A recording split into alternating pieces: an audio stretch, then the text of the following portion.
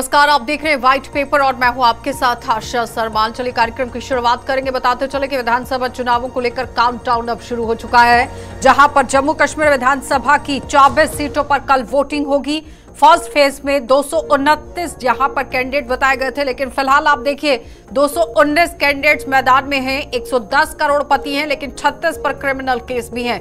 बड़ी अपडेट, महबूबा मुफ्ती की बेटी इल्तिजा भी पहली बार चुनावी मैदान में है और कल सात जिलों की 24 विधानसभा सीटों पर यहाँ वोटिंग होनी है और 219 कैंडिडेट्स में नौ महिलाएँ और बानवे उम्मीदवार बताए गए हैं। लेकिन इस बीच में आप देखिए तेईस दशमलव सत्ताईस लाख वोटर।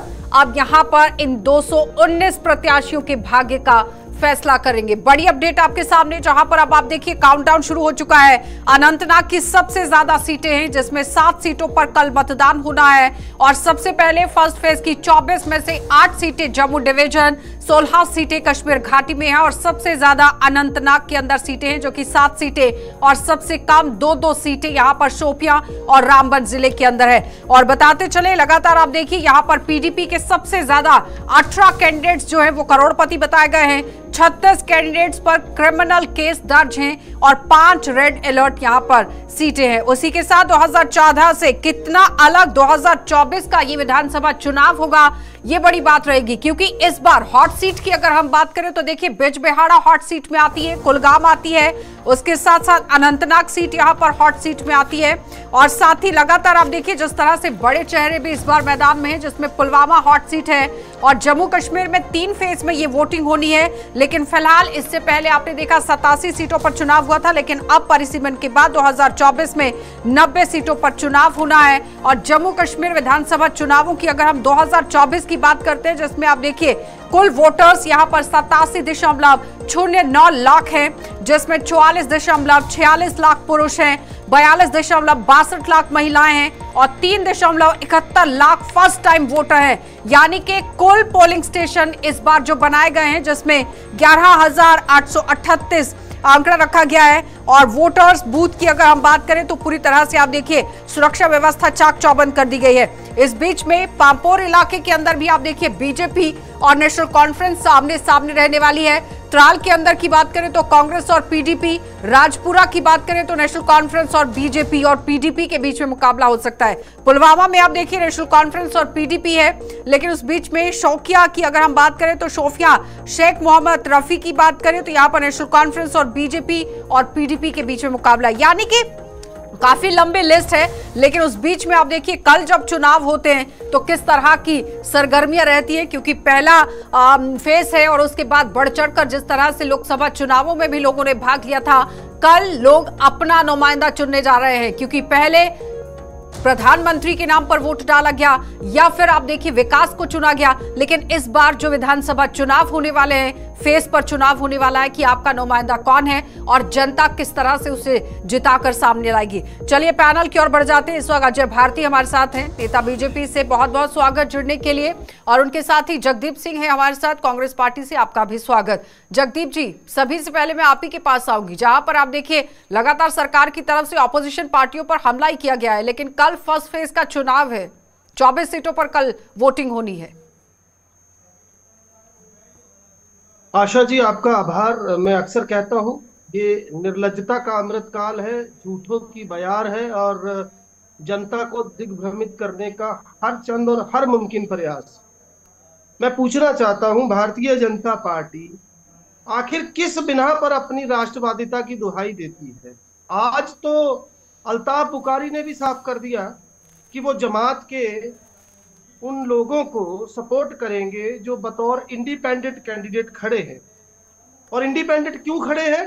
हम्म। क्योंकि उसे मोदी सरकार ने जमात इस्लामी को प्रतिबंधित किया हुआ है। एक तरफ़ इंजीनियर रशीद दूसरी तरफ़ अल्ताफ बुखारी तीसरी तरफ़ सज्जाद लोन चौथा गुब्बारा जो फूट गया गुलाम नबी आज़ाद साहब का नाम मैं लूँगा। तो अब जमात इस्लामी आखिर सत्ता का लोलू पर आदर्श जी भी जुड़ गए हमारे साथ। बहुत बहुत स्वागत आदर्श होकर भाजपा अपने नैतिक मूल्यों से समझौते पर समझौता करती चली जाएगी।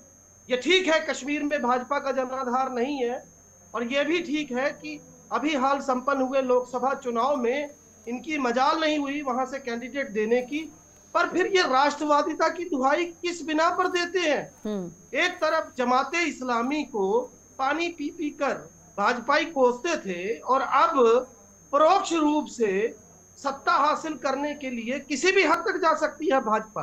भाजपा जवाब दे आर्टिकल 370 पर और छोटे छोटे मसले मसाइलों पर। ये कांग्रेस को घेरने अजय जी। जवाब दीजिएगा अजय जी। छोटी छोटी बातों पर कांग्रेस को बार बार घेरने की कोशिश हो रही है, वो कह रहे हैं।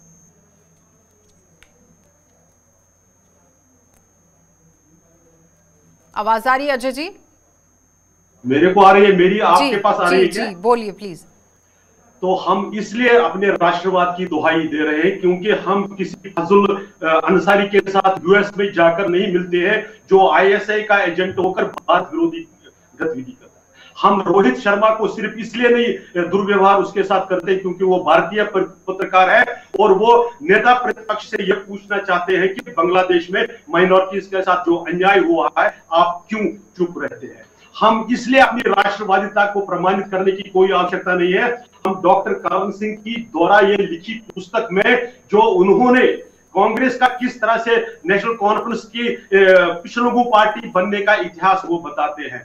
मैं आपको ध्यान दिलाना चाहता हूँ और मेरे बहुत ही काबिल मित्र हैं, कांग्रेस से आज प्रवक्ता आए हुए हैं, उनको 26 जुलाई उन्नीस सौ चौरासी की याद दिलाना चाहता हूँ।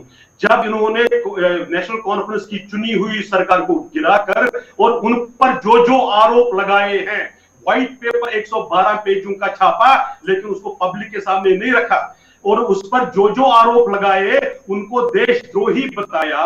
उनको ये बताया कि इन्होंने यहाँ पर क्या क्या अन्याय किया और आज उन्हीं के पिछलों बनकर उनकी गोद में बैठकर इसलिए कि इनको सत्ता चाहिए।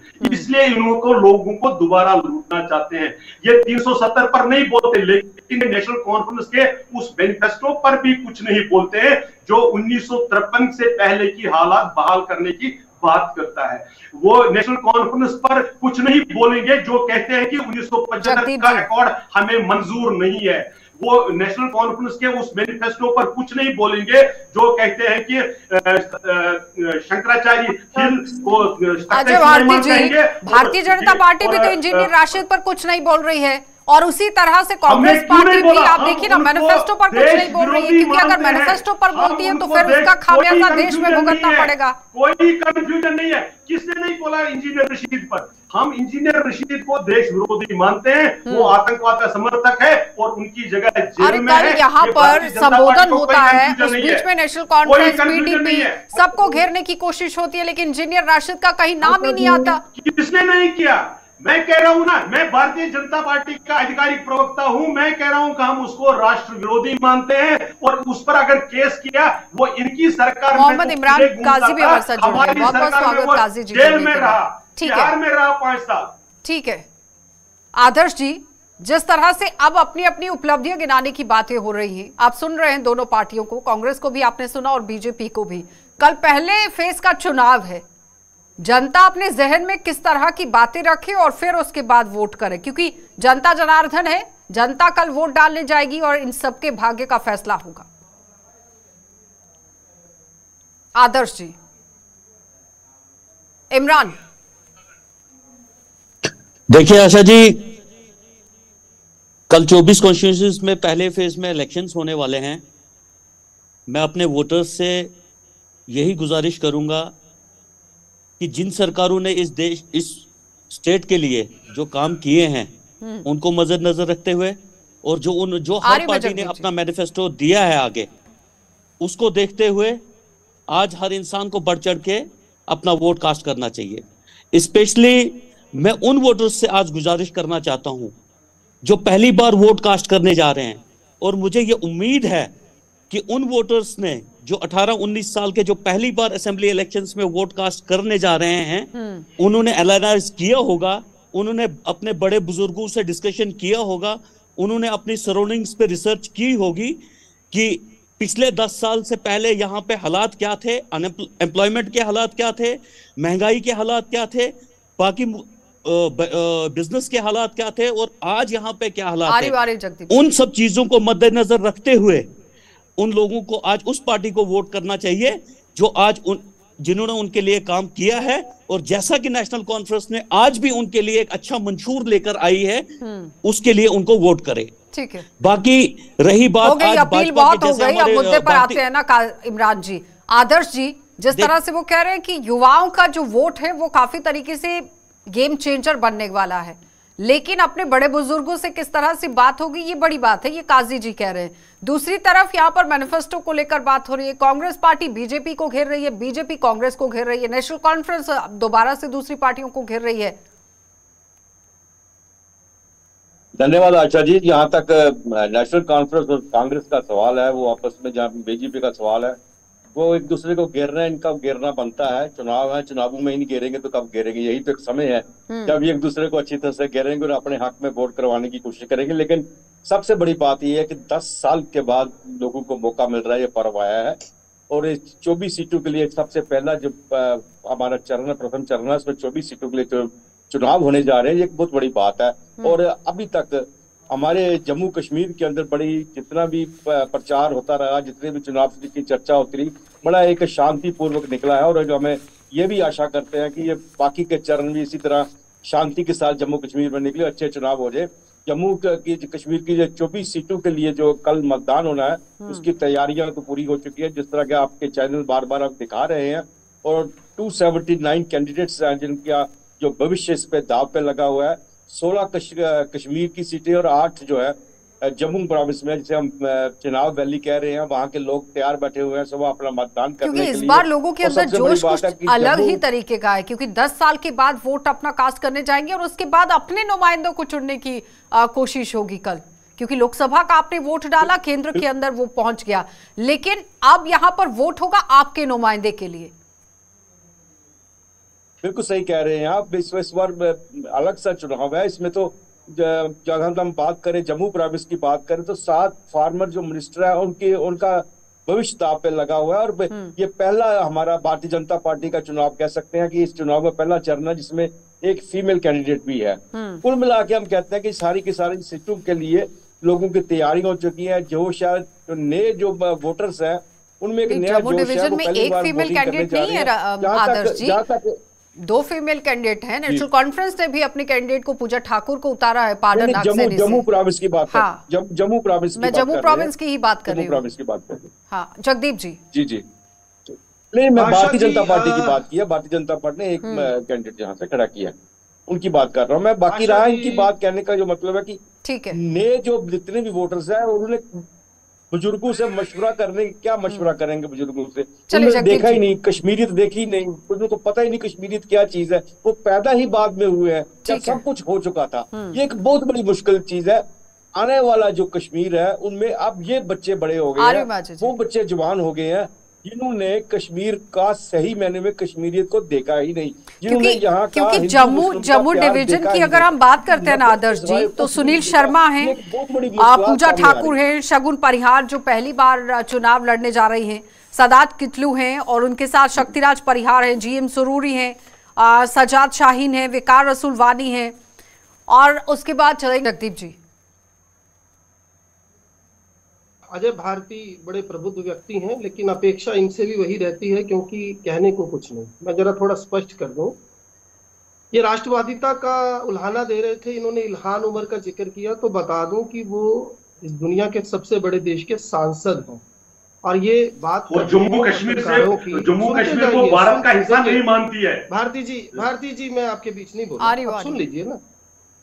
आप बात कर रहे हैं पत्रकारों की। 159 ये स्कोर है हमारा। 21 देश हमसे पीछे हैं जिसमें इथोपिया और सोमालिया जैसे देश हैं। आप बात कर रहे हैं पत्रकारिता की जनाब कुछ तो सोचिए। और सवाल क्या पूछा मैंने आपसे? अभी आप इंजीनियर रशीद को बड़ा आपने तल्ख शब्दों में बोला मैं पूछता हूँ जमानत कैसे मिल जाती है? एक अक्टूबर को आखिरी जैसे जैसे सोनिया जी को मिली जैसे राहुल जी को मिली किस तरीके किस तरीके सोनिया गांधी जी को मिली जैसे राहुल गांधी जी को मिली। जी भारती जी मैं ये आपसे नहीं, नहीं, आपने पूछा बीच में- प्रश्न। बीच में काटेंगे। सुन लीजिए ना फिर आप बोलिएगा। राम रहीम को इतनी मरतबा कैसे पेरोल मिली? को जवाब है आपके पास? अब मैं सही बता दूँ आपको बड़े दुख के साथ कहना पड़ता है। इस देश के सर्व सर्वोच्च संवैधानिक पद पर बैठे माननीय प्रधानमंत्री डोडा में जाकर कहते हैं हमने आतंकवाद पर काबू पा लिया। और अठारह चलिए, अजय जी। वहाँ दो जवान शहीद होते अजय जी, जवाब मैं आशा जी दो देखिए, मिनट लूँगा नहीं, हो गया। अभिजीत जी समय का भी अभाव है। अभी- कांग्रेस के जगदीप जी। इल्हान उमर आशा जी, सांसद है जी। वो नहीं मानते हैं कि वो जम्मू कश्मीर को भारत का हिस्सा इस्लामी को आपका नहीं है मानती है इसका जवाब वो ये अजय जी पूछ रहे कि जमाते इस्लामी का समर्थन है कि नहीं आपकी राष्ट्रवादिता ये भारतीय हो गई? जो भारत के विरोधी है की बात करते उनके साथ मिलने वाले लोग हैं उनके उनसे। समर्थन लेने वाले लोग हैं जगदीप जी। प्रकार के नेशनल कॉन्फ्रेंस पार्टी के प्रवक्ता हैं, वो करेंगे काउंटर। के लोगों के साथ स्टेटस छीनने के बाद आप देखिए, इमरान जी। अगर अगर आप क्यों था? और इमरान जी ने जगदीप बहुत जी, इस तरह से नहीं।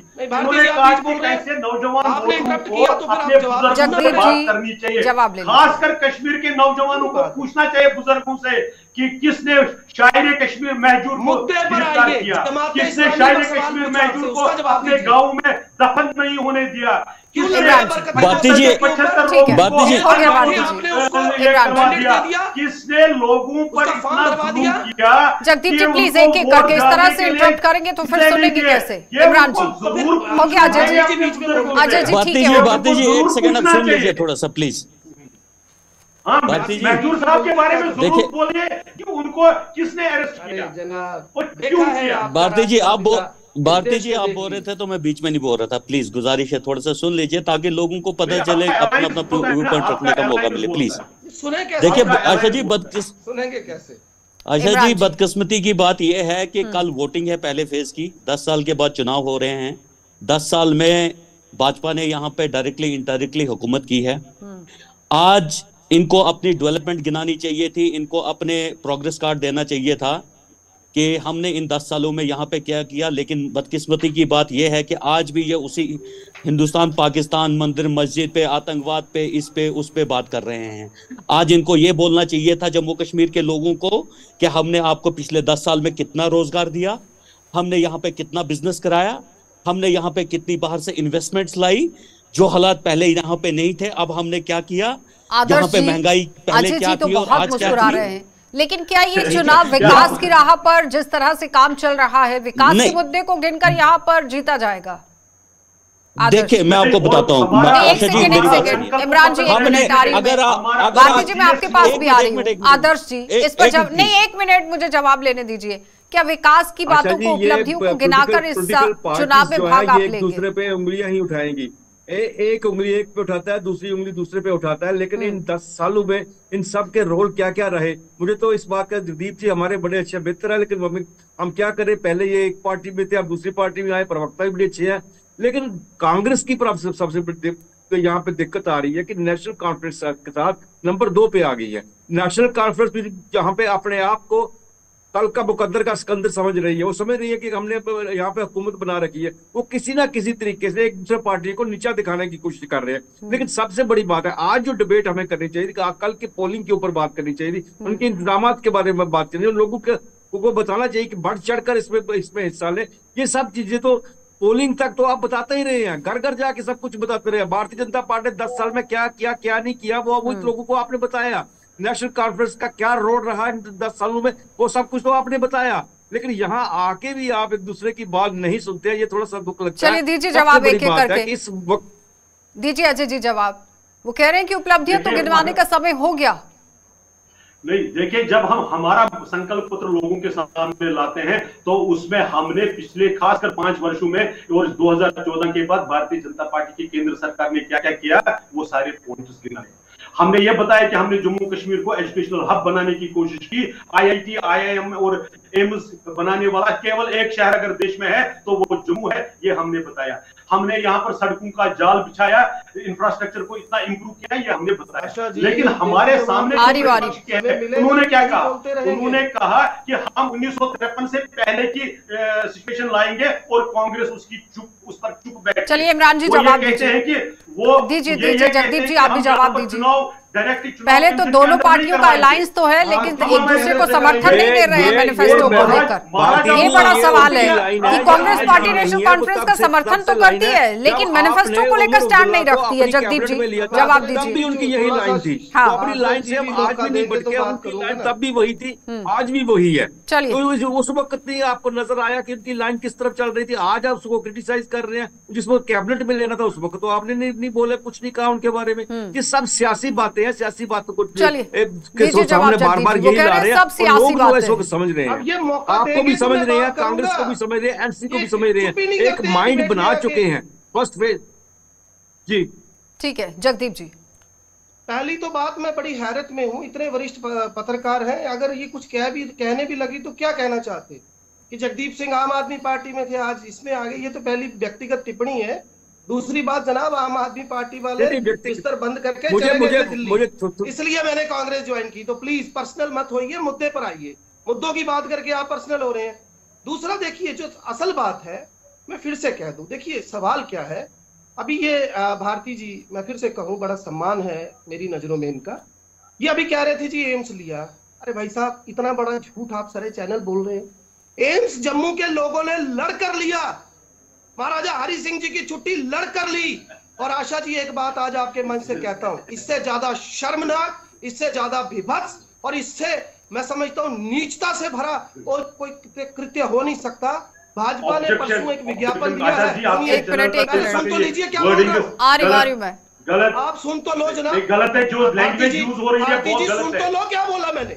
बता रहा हूँ नहीं मैं, तो लैंग्वेज जो बोल रहे नहीं बोल जब भी डिबेट तो हम लोग शुरू करते हैं आप लोग बच्चे तो है है? नहीं कि आप लोगों को रोज एक पाठ पढ़ाया जाए। है ना जगदीप जी? तो आशा जी ये बीच अपने अपने शब्दों का चयन तो तरीके से कर सकते हैं ना।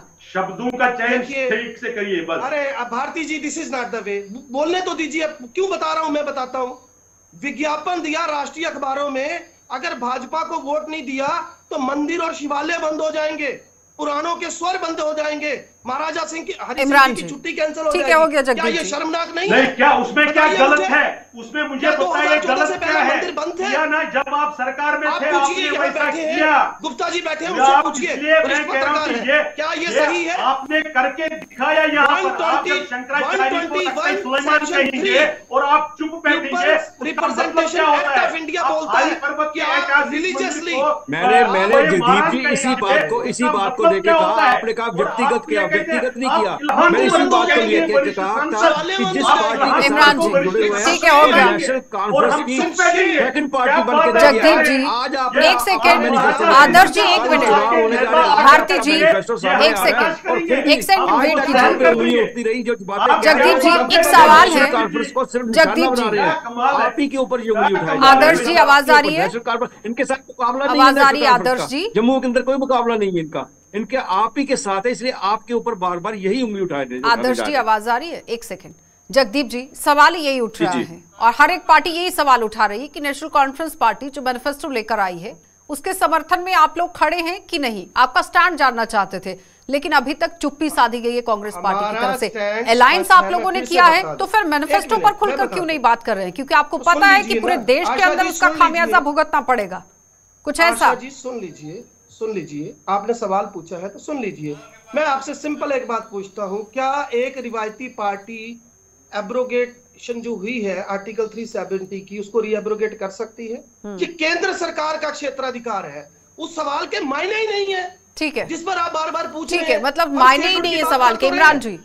इमरान जी, लास्ट कमेंट कीजिएगा जिस जल्दी सवाल का मायने नहीं है वो सवाल जो किस रखा जा रहा है बार बार वालों की बात फिर किस तो फिर मैनिफेस्टो के अंदर इतना लंबा चिट्ठा क्यों लिख कर लेकर आए हैं? इमरान जी। तो वो उनसे पूछिए। हाँ पूछ देखिए रहे हैं अभी। देखिए देखिए जवाब इमरान जी। इस वक्त कल पोलिंग है फ़र्स्ट फ़ेज़ की। मैं इन सब बहस में इस वक्त नहीं, नहीं जाना चाहता हूँ। मैं सिर्फ़ अपने अपने मैं सिर्फ़ अपने वोटरान से ये गुजारिश चलिए बहुत बहुत धन्यवाद इमरान जी जुड़ने के लिए। जगदीप जी आपका भी अजय जी आपका भी और आदर्श जी आपका भी। तो फ़िलहाल कल पहले चरण का चुनाव है। आम जनता बहुत समझदार है कि उसे अपने वोट का कास्ट किस तरह से करना है वोट का इस्तेमाल किस तरह से करना है। भारी तादाद में घरों से बाहर निकलिए और वोट का इस्तेमाल कीजिए। फ़िलहाल देखते रहिए कार्यक्रम।